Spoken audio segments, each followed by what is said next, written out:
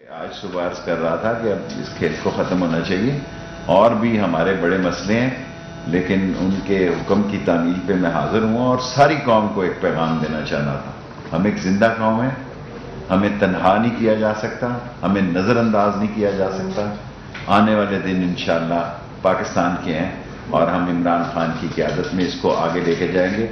अगर एंड में कोई इंटीरियर पे सवाल हुआ तो मैं हाजिर हूँ, वरना over to for thank you very much जी शेख साहब ये जो सारी एक जंग है ज़ाहिर इंटीरियर मिनिस्ट्री इसको लीड कर रही है और एक ये जब हम बात करते हैं हाइब्रिड वॉर की या ये फिफ्थ जनरेशन मीडिया वॉरफेयर की तो बहुत लोगों को लगता है कि ये देखिए ये कोई ज़रूरत नहीं है। फेक न्यूज़ के ऊपर क्या ज़रूरत है और बाकी चीज़ों के ऊपर क्या ज़रूरत है?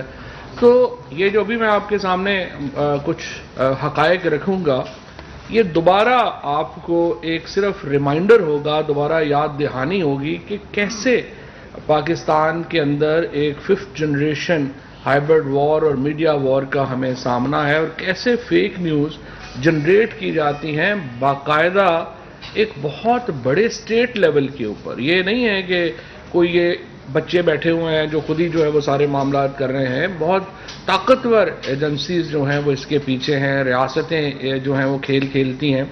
और उसके बाद कैसे इस मामले को जो है वो आगे बढ़ाया जाता है, इससे पहले आपको याद होगा, हमने एक पूरा मंजरनामा आपके सामने रखा था कि किस तरह जब तरीके लब्बैक की तहरीक चल रही थी तो किस तरह उसको हिंदुस्तान से सपोर्ट मिली। और बहुत ट्वीट्स की गई सोशल मीडिया एक वॉरफेयर कायम किया गया। और ज़ाहिर है कि वो जो तरीके लब्बैक में यहाँ पे जो लोग शामिल थे, उनका तो एक अपना अकीदे की बुनियाद के ऊपर, एहतराम की बुनियाद पे शामिल होंगे। लेकिन हम किस तरह से इस्तेमाल हो जाते हैं और हमें पता भी नहीं चलता, उसकी एक मिसाल वो थी। और आज ये जो कुछ आपके सामने चीज़ें हैं, ये मैं आपके सामने रखता हूँ। ये ज़रा डिस्प्ले भी कर दीजिए टीवी के ऊपर भी ताकि लोगों को एक नज़र भी आ जाए। न्यूजीलैंड का दौरा जब जब कैंसर हो रहा था तो उस वक़्त एससीओ का समट जारी था और वज़ी अजम साहब जो हैं, उनकी तकरीर होने वाली थी। और उससे तकरीबन 15 मिनट पहले मुझे पाकिस्तान से ये मैसेज गया कि प्राइम ये न्यूजीलैंड की टीम जो है वो दौरा कैंसिल कर रही है और चूँकि मैं बिल्कुल पीएम साहब के पीछे बैठा था तो मुझे यहाँ पे उन्होंने कहा कि ये मैसेज पीएम तक दे दें। लेकिन मैंने जो सोचा और हमने आपस में मशवरा किया, मोहित थे, मैं था, और प्राइम मिनिस्टर साहब का जो पर्सनल स्टाफ था और शाह महमूद कुरैशी साहब थे तो हमने आपस में मशवरा किया और हमने कहा कि इस खबर को अभी पीएम को नहीं देते, उनकी तकरीर हो जाए तो फिर उनको देते हैं ताकि ये उनको डिस्ट्रैक्शन जो है वो ना आए। तो आप अंदाज़ा लगा सकते हैं कि ये कितनी बड़ी एक डिस्ट्रैक्शन थी पाकिस्तान के लिए और फिर पाकिस्तान के अवाम के लिए कि इतना पाकिस्तान का जो we were looking forward to this tour और बिल्कुल एक दिन पहले जो है वो इस टूर को इस तरीके से ख़त्म किया गया और इससे बड़ा एक पाकिस्तान के लोगों में एक गम गुस्सा पाया जाता है और अभी तक भी जो सोशल मीडिया के ऊपर, अमूमी तौर के ऊपर लोग बहुत नाराज़ हैं इस दौरे की कैंसिलेशन से। ये कैसे हुआ? इसका बैकग्राउंड क्या है? क्यों न्यूजीलैंड की टीम इस नतीजे पे पहुँची कि उन्हें दौरा ख़त्म कर देना चाहिए? ये कुछ हकायक जो है वो मैं आपके सामने रखता हूँ। 19 अगस्त 2021 वो पहली तारीख है, जबकि एक फेक फेसबुक पोस्ट क्रिएट होती है। एहसानुल्ला एहसान के नाम से। So I will try to mix English and Urdu both because I also want के इंटरनेशनल मीडिया भी थोड़ा सा उसको जो है वो देख सके। So a Facebook post was circulated from a fabricated account made in the name of Ehsan Ullah Ehsan and ex T T P J U A on social media asking New Zealand cricket board and government not to send the team to Pakistan as ISKP has planned to target New Zealand team. Okay.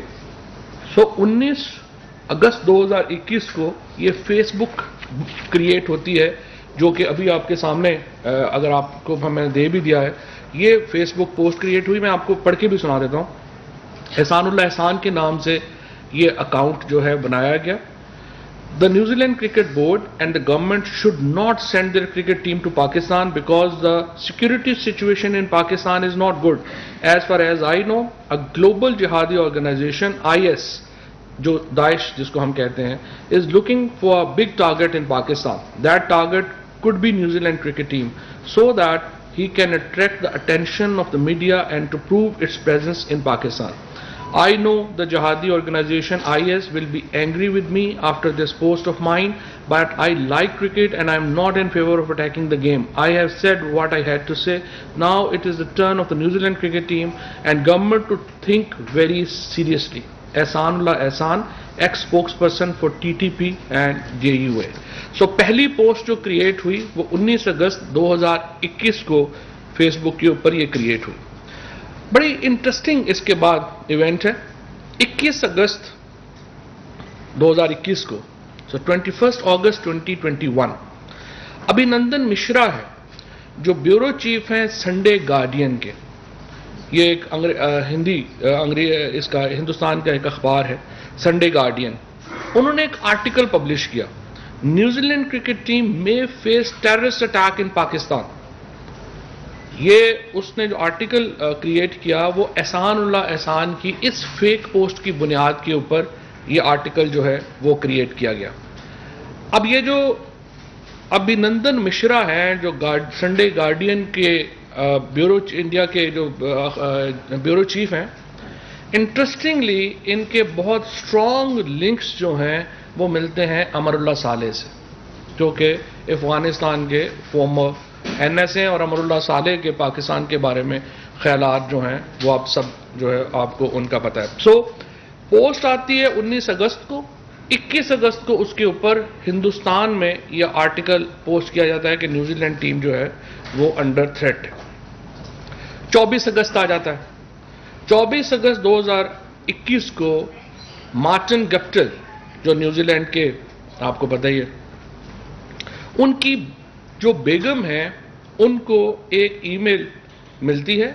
Email ID है Tehreeke Labbaik at protonmail dot com Tareeke Labbaik at protonmail protonmail dot com की एक ID से जो Martin Guptill हैं, उनकी बेगम को एक email generate की जाती है। और उनको ये थ्रेट किया जाता है कि मार्टिन गप्टल को पाकिस्तान में कत्ल कर दिया जाएगा। Martin Guptill's wife receives a threat email from Tareeke Labbaik at protonmail dot com threatening to kill Martin Guptill while on tour exploitation इसके ऊपर जब तहकीक हमने की इन्वेस्टिगेशन की तो हमें जो है उसके ऊपर कुछ फैक्ट्स मिले। सबसे पहली बात तो यह है कि ये ईमेल जो है, ये किसी सोशल मीडिया नेटवर्क से एफिलिएटेड नहीं थी। किसी एसएमएन से इसका कोई ताल्लुक नहीं था। Email account was generated at 1 5 A M चौबीस अगस्त 2021 को।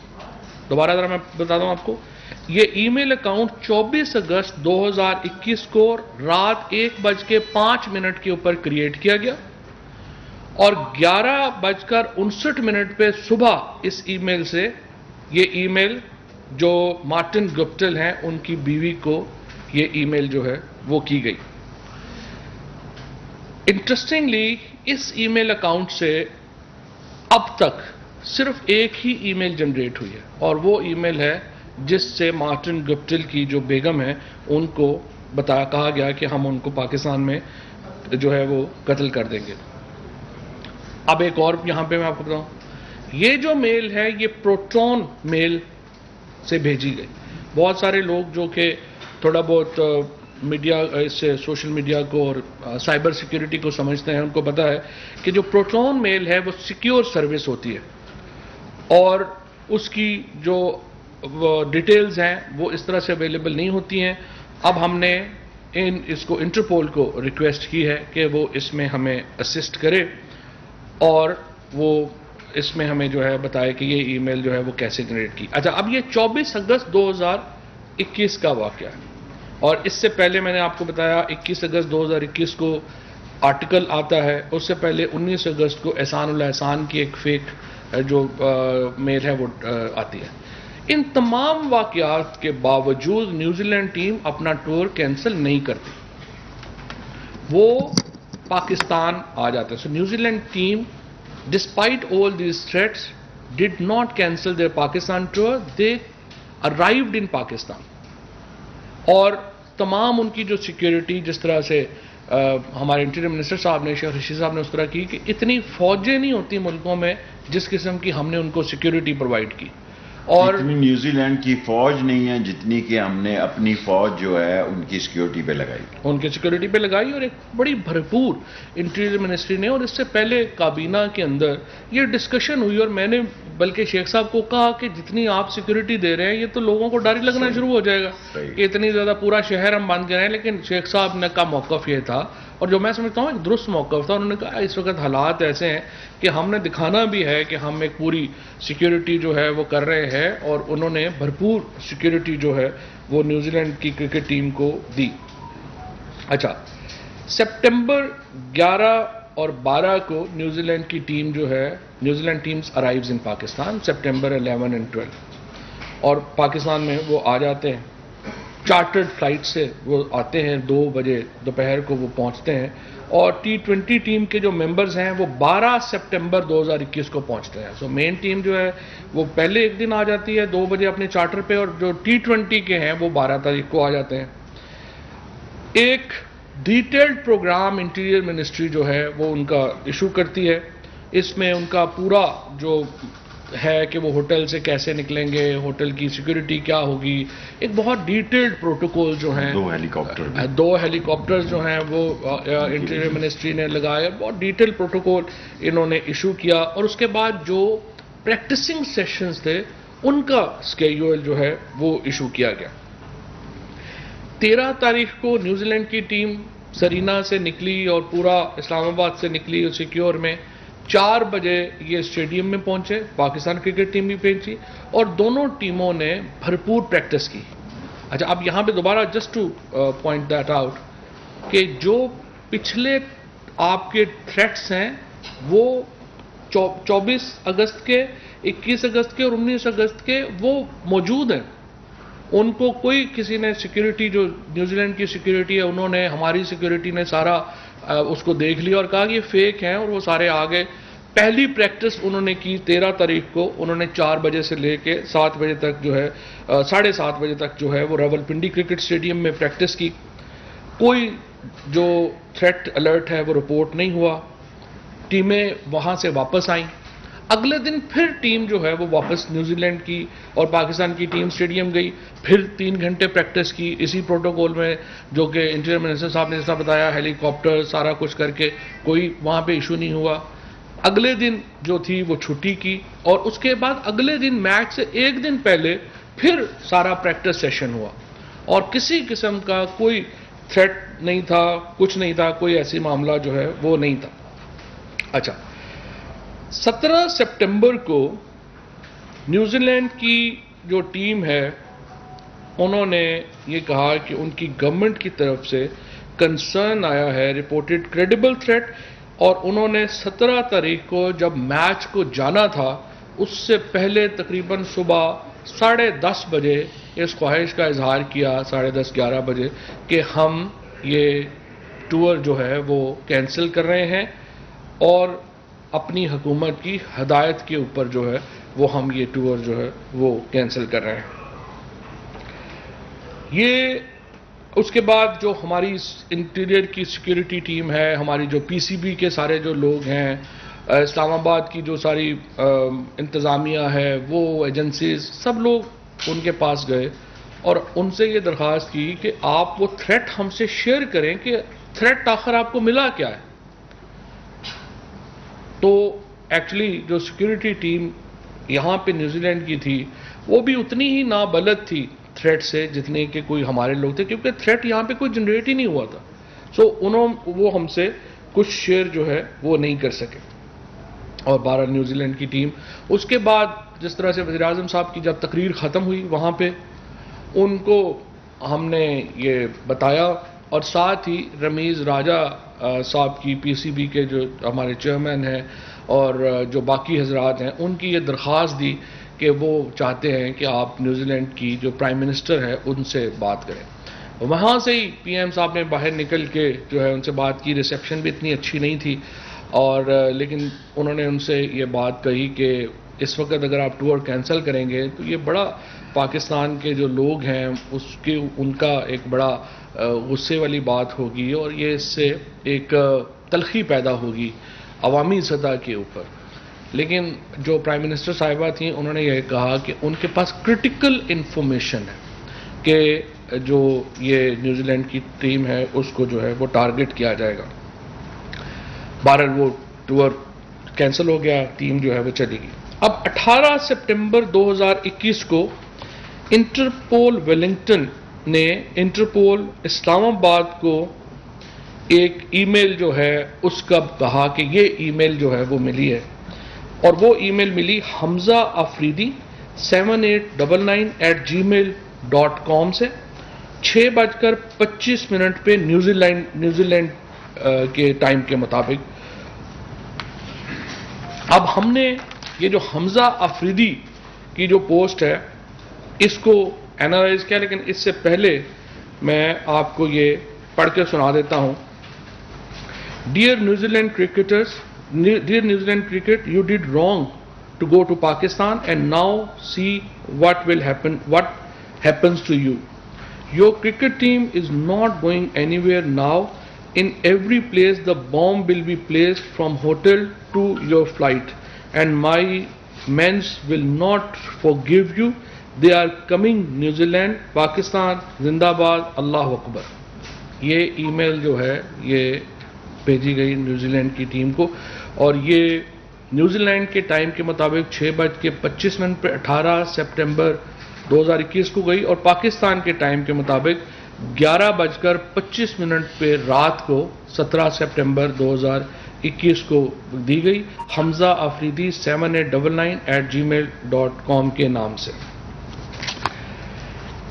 अच्छा ये इस ईमेल का भी ज़रा जायज़ा अगर आप लेंगे तो ये ईमेल भी जो आईडी क्रिएट हुई, ईमेल आईडी, उस ईमेल आईडी के क्रिएट होने के 15 मिनट के बाद ये ईमेल उसी आईडी को यूज़ करके ये ईमेल जो है, वो भेजी गई।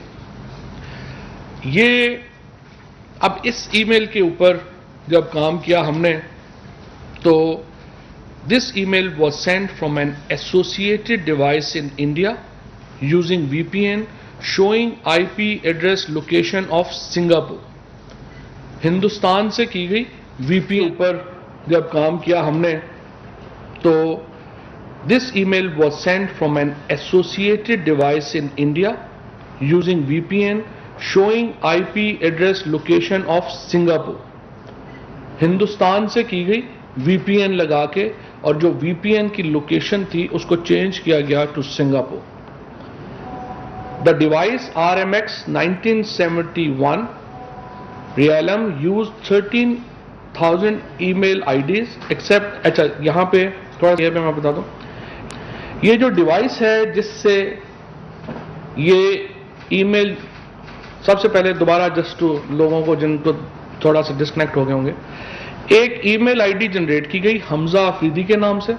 उसके 15 मिनट के बाद उसी ईमेल आईडी से ये न्यूजीलैंड की टीम को थ्रेड जनरेट किया गया। और ये जो ईमेल आईडी है, ये हिंदुस्तान से वीपीएन के ज़रिए की गई, जिसमें लोकेशन बदली गई, सिंगापुर शो किया गया। इंटरेस्टिंगली जिस डिवाइस से ये ईमेल भेजी गई, उस डिवाइस के ऊपर तेरह और आईडीज हैं।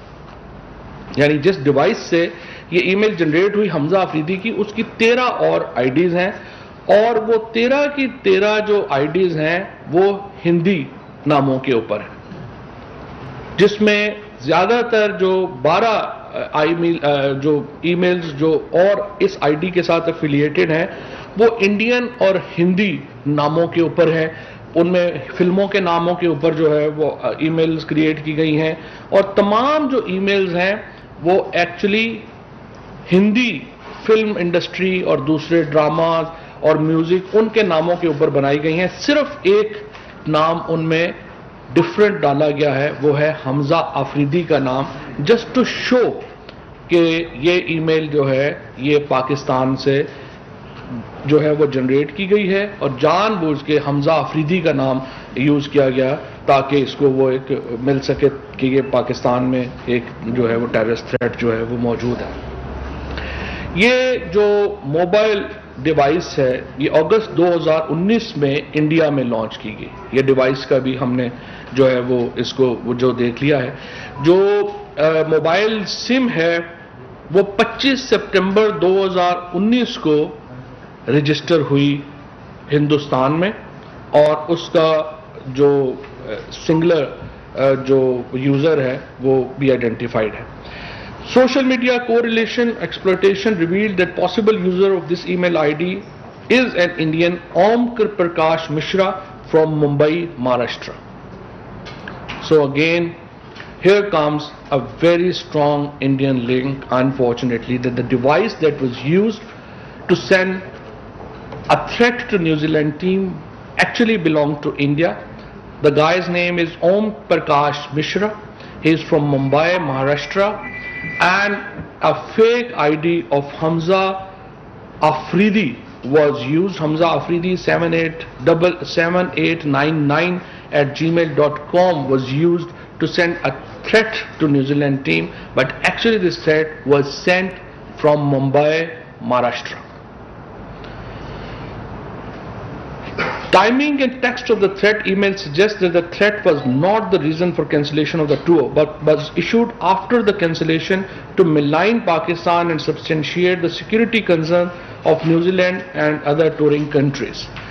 Basically कि ये जो थ्रेट इशू किया गया था हमजा का ये तो टूर कैंसिल होने के बाद इशू किया गया था ना और इसका मकसद यही था कि पाकिस्तान को उसमें शामिल किया जा सके और इसको जो है वो किया जा सके इसके जो फॉलो अप एक्शंस हुए हैं अभी इंटीरियर मिनिस्ट्री ने उसके ऊपर एफआईआर जो है वो दर्ज कर दी है इस सारे मामले के ऊपर। And now they have requested Interpol for provisions of detail about दोनों के जो एक जो तरीके लब्बैक है प्रोटोन मेल डॉट कॉम है। और दूसरा जो ईमेल आईडी हमजा अफरीदी का जो है, इसका दोनों को अब इन्होंने अप्रोच कर रहे हैं। इसको इंटरपोल को कि वो इसके ऊपर मजीद तहकीकात एफ़ आई ए के साथ जो है वो मिल के करे। सो प्राइमरीली ये जो एक पूरी फॉल्स थ्रेट थी जिसके ऊपर हुआ हुआ किया गया और ये सारा थ्रेट जो है ये इंडिया से आ, जो है वो जनरेट हुआ। यहाँ पे मैं आपको एक बात और भी ये बता दूँ कि वेस्ट इंडीज़ की क्रिकेट टीम दिसंबर में पाकिस्तान आ रही है। अभी से ही एक थ्रेट वेस्ट इंडीज टीम को इशू कर दिया गया। और वेस्ट इंडीज टीम को जो थ्रेट इशू किया गया है, उसकी भी ईमेल आईडी चेक करें। वो है Ehsan Ullah Ehsan at protonmail dot com Ehsan Ullah Ehsan जो है, अब उसके स्पेलिंग ज़रा आप चेक कर लेंगे। तो जो सारे हमारे यहाँ पे बैठे हुए, चूँकि सारे पाकिस्तानी हैं, आप आराम से देख लेंगे कि वो जो एहसान उल्ला एहसान का अगला स्पेलिंग है, वो है एहसानुल्लाह लिख के, उसके बाद लिखा गया है E H S H A N Ehsan. आपको अच्छी तरह पता है कि ये किस तरीके से जो सारे इंडियन स्पेलिंग्स हैं, वो किस तरह के होते हैं और किस तरह के होते हैं, किस तरह से जो है वो चलता है। So primarily this is very unfortunate that this is not a campaign against Pakistan we believe this is a campaign against international cricket and ICC must take notice of that. International bodies must take notice of that. The way things are, it is very apparent that a fake, unfortunate incident and threat was created from India primarily कि वो यहाँ पे जो दौरा है New Zealand का उसको वो कैंसिल कराते और अभी तक हम ये समझते हैं कि जो न्यूजीलैंड की गवर्नमेंट है उसको भी हम ये समझते हैं कि उनको चाहिए कि जो स्पेसिफिक थ्रेट है जो उनको मिला वो हमारे साथ शेयर करें क्योंकि अगर वो टीम चली भी गई है तो थ्रेट तो मौजूद है ना। तो हमारा राइट है कि हम उस थ्रेट को जो है वो न्यूट्रलाइज कर सकें। ये तो नहीं है कि आप की टीम चली गई है और आप थ्रेट यहाँ पे मौजूद है। सो ये सारी कहानी थी जो आपके सामने रखना मकसूद था। जी। आई थिंक दैट जी मतीन। जी जी मतीन फवाद साहब ये बताइए कि अभी आपने कहा कि आईसीसी जो है इसका नोटिस ले any communication any any note और any such communication has been shared with ICC ये तो आपने सारी चीज़ें करी और दूसरा कल दफ्तर खाते ने बताया कि पाकिस्तानी हाई कमिश्नर है वहाँ पे he lodged a strong démarche with the New Zealand government over this uh, abrupt uh, cancellation of the visit. Any decision to recall as a mark of protest? अब वो five five five five intelligence alliance ने जो New Zealand को threat दिया, वो भी इनको कर दिया। ये ब्रिटिश क्रिकेट टीम के बैकग्राउंड के बारे में भी बताएँगे। उसकी क्या थ्रेट्स हैं या सिर्फ़ अब वो five five five five intelligence alliance ने जो न्यूजीलैंड को थ्रेट दिया वो भी इनको कर दिया। ये ब्रिटिश क्रिकेट टीम के बैकग्राउंड के बारे में भी बताएँगे। उसकी क्या वजह है? मेन जवाब फवाद साहब देंगे। ब्रिटिश एम्बेसडर से अभी सररा मेरी मुलाकात हुई है। मैं उसे तो कोई थ्रेट की मसला नहीं था। और मैंने उसको कहा कि एटलीस्ट तुमने बयान दिया कि उसकी तरफ़ से कोई बात नहीं है। बाकी जवाब फवाद अच्छा इसमें जी तीन चीज़ें आपने कही हैं। पहले आपने कहा है कि क्या न्यूजीलैंड से आप ताल्लुकात सफ़ीर बुलाएँगे या कुछ नहीं है? देखिए पहली बात तो ये है, हम न्यूजीलैंड की हुकूमत से ये कह रहे हैं कि जो थ्रेट इशू हुआ है, वो तो हमसे शेयर करें। और आजकल वज़ीर खारजा साहब ने इसके ऊपर अमेरिका में बात भी की है और उन्होंने भी इसके ऊपर बड़ा एक सख्त जो है वो प्रोटेस्ट लॉन्च किया है। और अभी हम देखेंगे कि न्यूजीलैंड की हुकूमत हमारे साथ हमें उम्मीद है कि न्यूजीलैंड की टीम इन वाकयात के सामने आने के बाद, जो आज हमने आपके सामने रखे हैं, इसके ऊपर एक मौकफ जो है, वो उनका लेगी। और जहाँ तक बरतानिया का ताल्लुक है, वो तो उनके जो सफ़ीर हैं, वो वाजे कर चुके हैं कि जो बरतानिया की जो एडवाइजरी है पाकिस्तान के बारे में, वो भी तब्दील नहीं हो रही। और उन्होंने पाकिस्तान को ग्रीन लिस्ट में ही रखा हुआ है। सो अगर बरतानिया की हकूमत को सिक्योरिटी एजेंसीज को, पाकिस्तान के अंदर जो तहफ़ है, उसके ऊपर कोई एतराज़ नहीं है तो इंग्लिश क्रिकेट बोर्ड तो कौन तो कोई कोई नहीं होता कि ये एतराज़ करे। ये कहना कि इंग्लिश प्लेयर्स थक गए थे, ये बड़ा थका हुआ बहाना है। और मेरे ख्याल में इससे जो हमारा लीगल केस है, मैंने बिल्कुल अपने जो पीटीवी स्पोर्ट्स है, उनको भी हमने कहा है कि आप अवेल्यूएट करें कि हमारा कितना नुकसान है। हम इस पर काम कर रहे हैं और इन हम इंग्लिश क्रिकेट बोर्ड को अगर हमारी लीगल टीम इजाज़त देती है तो यकीन हम उनको सू करेंगे इंग्लैंड में सर एक तो ये बता दें कि जो न्यूजीलैंड ने कहा है उन्होंने फाइव आइज़ की रिपोर्ट की रोशनी में कहा है।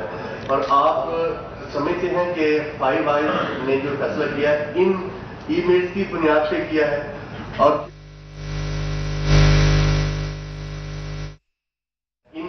इन बनाकर किया तो कम से कम हमारा ऑस्ट्रेलिया का और बाकी टूर जो है, वो बच सकते हैं अगर अब गलतफहमी उन बोर्ड की ठीक हो जाए। सही बात है। और ये, जिस तरह से मैंने अर्ज़ किया कि आज एफ़ आई ए ने इसके ऊपर एक बाकायदा पर्चा जो है, वो दर्ज कर लिया है।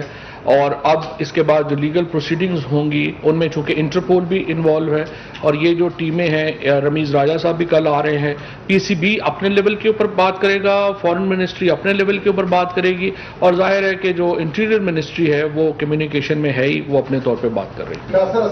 मिनिस्टर साहब जिस बारीक बीनी से आपने इसका तजिया किया इससे ये साबित होता है कि अल्लाह से वाले से जाग रहे हैं बल्कि हम खुशियों के साथ से हम जागे हुए हैं और आपको बार बार पूछते हैं।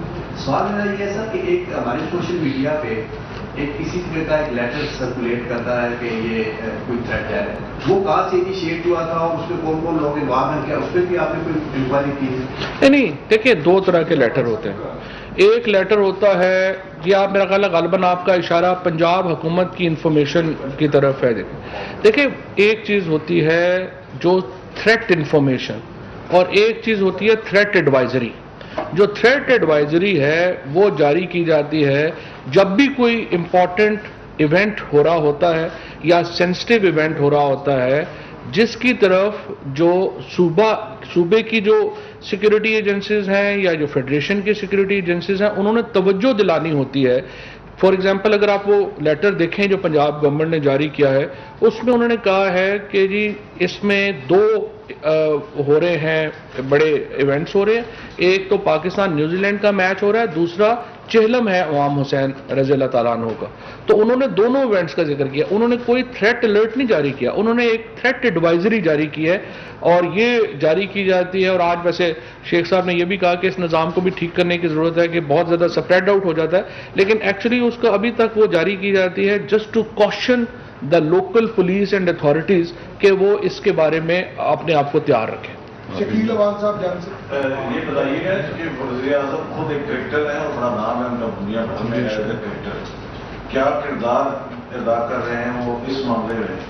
एक और दूसरा जो वेस्ट इंडीज की टीम में धमकी है इस हवाले से आप लोग अभी से क्या हैं? ये देखिए ना ये तो पीसीबी जो है वो उनसे कर रहे हैं। मैं यहाँ पे उन तमाम क्रिकेटर्स का बहुत शुक्रिया अदा करना चाहता हूँ, जिन्होंने इस वक्त में पाकिस्तान को पूरी इंटरनेशनल जो क्रिकेटर्स हैं, वो पाकिस्तान के साथ खड़े हुए तमाम जो हमारे जो खसूस वेस्ट इंडीज़ के जो क्रिकेटर्स फॉर्मर क्रिकेटर्स जिस तरह पाकिस्तान के साथ खड़े हुए, पूरी दुनिया से जो क्रिकेट से मोहब्बत करने वाले लोग हैं, उन्होंने पाकिस्तान को, पाकिस्तान क्रिकेट बोर्ड को, पाकिस्तान की हुकूमत को, पाकिस्तान के अवाम को नेक तमन्नाएँ भेजी हैं। उनके लिए हम उनके बड़े शुक्रगुजार हैं। और इन ताला देखिए जी ये सारे थ्रेट्स आते रहते हैं। इनको पहले भी हमने नाकाम बनाया है। पहले भी तो इंडिया ने कितनी इन्वेस्टमेंट कर ली अफ़गानिस्तान में तो अब आज किधर है वो इन्वेस्टमेंट तो इन ताला हम आगे भी इसको करेंगे। जी सर सर। पाकिस्तान के साथ मुतासर शेख साहब ने इंटरव्यू पाकिस्तान के साथ मुतासर हुई है। पाकिस्तान सी पैक के फ़ेज़ टू में इंटर हो चुके हैं। और इसके अलावा पाकिस्तान के अंदर जो इंटरनेशनल कम्युनिटी और जितने भी आए साल के बाद पाकिस्तान ने उनको भरपूर सिक्योरिटी प्राप्त की है। कोई शक नहीं कि दो राय नहीं। सिर्फ़ ये क्रिकेट का मामला नहीं इस हवाले से इसको आप किस तनाजा में देख रहे हैं? क्योंकि पाकिस्तान इस खत्े के अंदर एक अहम मुल्क बन चुका है। अफ़गानिस्तान के मामले जिसे आपने सिंगाई कॉन्फ्रेंस की बात की सर उस वक्त क्यों नहीं आपने फौरी तौर पर प्राइम मिनिस्टर को कहा कि वहाँ पर चीज़ को हाईलाइट करते क्योंकि इंटरनेशनल लीडर वहाँ पे थे। देखिए पाकिस्तान का एक तारीखी किरदार है। हमने दस हज़ार से ज़्यादा लोगों को इवैक्यूएट किया है। नेटो फोर्सेस को किया है आईएमएफ को किया है अमेरिकन को किया है वर्ल्ड बैंक को किया है। जिस वक्त न्यूजीलैंड की टीम ठहरी हुई थी, वहाँ और भी 11-12 इंपॉर्टेंट पर्सनैलिटीज ठहरी हुई थी। और अगर कोई ये समझता है कि क्योंकि इंडिया को मायूसी हुई है कि पाकिस्तान स्केप बोर्ड नहीं बन सका, और हिंदुस्तान का जो ये सोच थी कि वहाँ खाना जंगी होगी और वहाँ कत्लो गारत इतना होगा कि यहाँ महाजरीन का एक तूफ़ान होगा, एक सिंगल महाजरीन भी नहीं आया और जब मैंने दुनिया को यह बताया कि वो परेशान हो गए कि हमने कोई मुहाजर कैंप भी नहीं बनाया।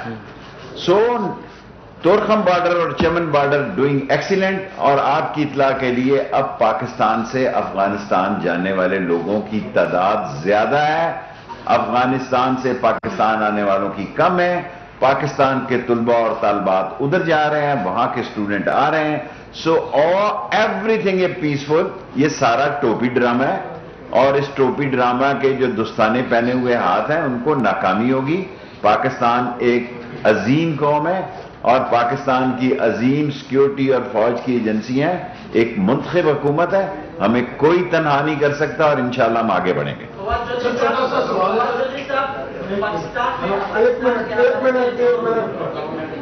सर थोड़ा सा सवाल है बड़ी अच्छी कमीशन के यहाँ जौहर टाउन लाहौर वाला धमाका या ये वाला वाक्य वाली एजेंसीज ने बड़ी क्विकली जो है वो सारा रिवील कर लिया तो क्या ये बेहतर नहीं हुआ जैसे आपने प्रेस कॉन्फ्रेंस में हमारे माइक को क्लियर किया।